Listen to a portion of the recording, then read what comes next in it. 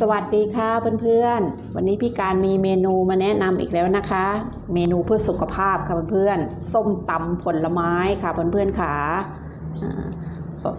ประโยชน์มากมายของผลไม้นะคะ วันนี้จัดเลยค่ะนะคะ เป็นส้มตำผลไม้ค่ะ ก่อนอื่นนะคะ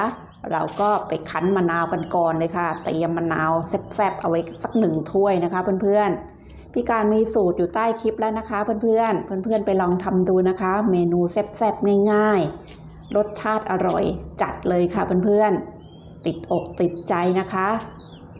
เราไม่ใส่ผงชูรสนะคะ ฝีมือล้วนๆ เลยค่ะเพื่อนๆ ค่ะ คั้นมะนาวไว้สักหนึ่งถ้วยนะคะ เดี๋ยวเสร็จสับเรียบร้อยเราก็จะพักเอาไว้ก่อนนะคะ แล้วก็จะไปทำวัตถุดิบตัวอื่น เวลาเราตำเนี่ยจะใช้เวลาไม่นานค่ะเพื่อนๆจัดเลยค่ะนะคะเราก็ไปทำการหั่นมะเขือเทศนะคะเพื่อนๆเพื่อนๆจะใช้เป็นมะเขือเทศลูกเล็ก หรือพันธุ์สีดาก็ได้นะคะ แล้วแต่เพื่อนๆเลยค่ะหั่นเสร็จสับเรียบร้อยแล้วเราก็พักเอาไว้นะคะ แล้วก็ไปหั่นถั่วฝักยาวนะคะ ถั่วฝักยาวเนี่ยเอ่อเพื่อนๆจะใช้เป็นเด็ดเอาก็ได้นะคะ แล้วแต่ตามชอบเลยนะคะ พอดีวันนี้พี่การตำหลายอย่างก็หั่นไว้เยอะหน่อยนะคะ จัดกันหลายแบบจุกๆเลยค่ะเพื่อนๆค่ะหั่นถั่วฝักยาวเสร็จสับเรียบร้อยเนี่ยเดี๋ยวเราก็ใส่ถ้วยพักเอาไว้นะคะเพื่อนๆ แล้วเราก็มาดูเครื่องปรุง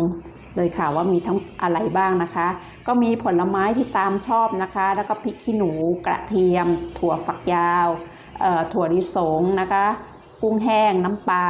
น้ำมะนาวคั้นสด แล้วก็น้ำตาลปี๊บนะคะเพื่อนๆ จัดการใส่พริกกับกระเทียมเลยค่ะเพื่อนๆ ชอบเผ็ดน้อยก็ใส่น้อย ชอบเผ็ดมากก็ใส่มากนะคะเพื่อนๆบางบ้านนะคะเขาก็จะใช้เป็นพริกขี้หนูแห้งก็ได้นะคะ เพื่อนๆแล้วแต่เพื่อนๆเลย หรือจะเป็นพริกขี้หนูสวนก็ได้นะคะ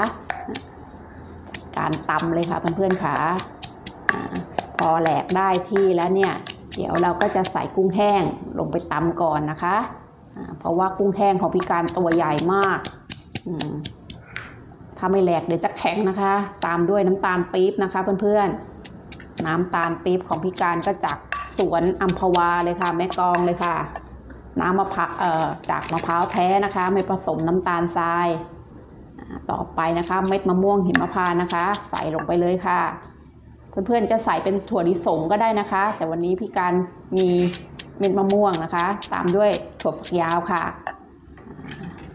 แล้วเราก็เติมไปด้วยน้ำมะนาวเลยค่ะเพื่อนๆชอบเปรี้ยวก็ใส่เยอะไม่ชอบก็ใส่น้อย พี่การใช้เลยค่ะหนึ่งทัพพีนะคะ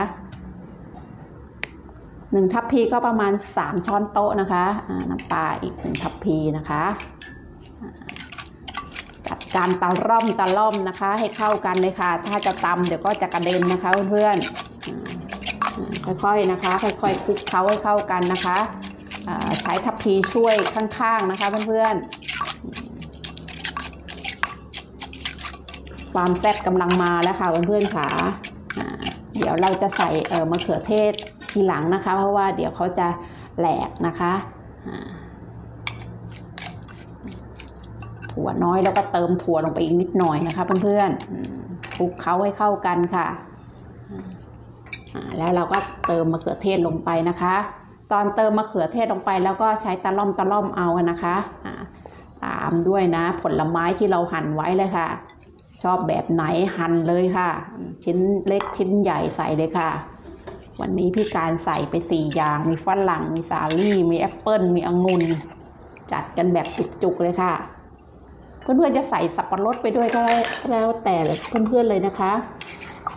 พอดีพี่การหันไม่ทันค่ะวันนี้ ฝนตกค่ะ ที่สวนฝนตกมาก